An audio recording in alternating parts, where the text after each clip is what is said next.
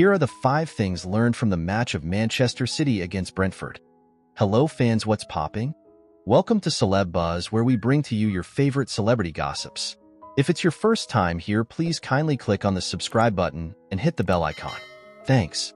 Manchester City sit top of the Premier League table and two points above Arsenal, while Erling Haaland's ever-growing goal tally now stands at nine for the ongoing season.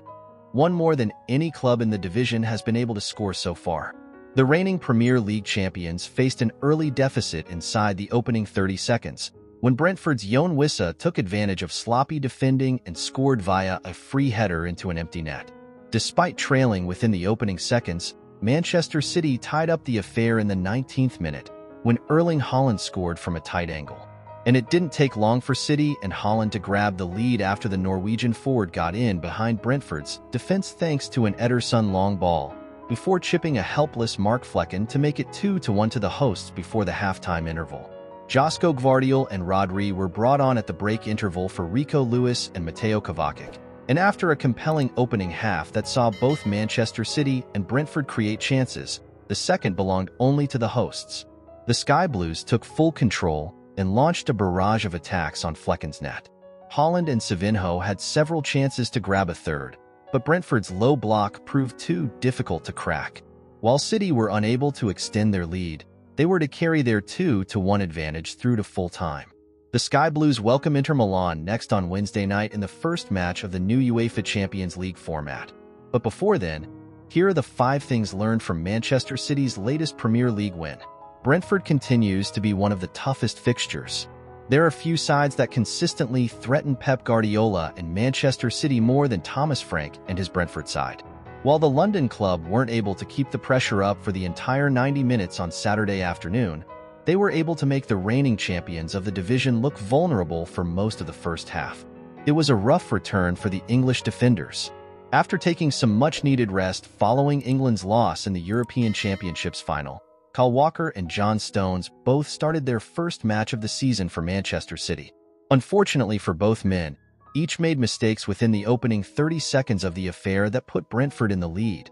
And the errors didn't stop there. Both looked significantly more comfortable in the second half, however, and hopefully the rust was shaken off for good. It's doubtful that both players will start against Inter Milan in just a few days. But we hope they return to their best with Arsenal now on the horizon. Rodri hasn't missed a step. While the returning English players may look out of form, the opposite can be said for Rodri. It was the Spaniard's first appearance of the season, coming on as a halftime substitute for Mateo Kovacic, and Manchester City unsurprisingly looked to be in full control from the minute he stepped on the pitch. Erling Haaland has evolved. While the Norwegian striker wasn't able to score a third consecutive hat-trick, he was still able to bring his own goal tally to an impressive nine goals across the opening four matches of the new campaign. But it's not just the ridiculous goal scoring. It's clear that Erling Haaland's build-up play has massively improved as well. There was a moment in the first half where he took the ball with his back to goal, dribbled through an attempted tackle, and passed it through to Jack Grealish on goal. It looked like a different player was playing in the striker role for City, and that's how impressive it was. Savinho will be a Manchester City player for a long time.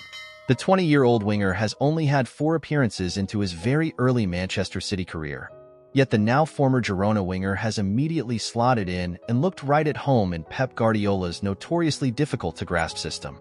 While attackers normally adapt to Guardiola's system much faster than midfielders, it's hard to remember a winger having this positive of an impact so quickly.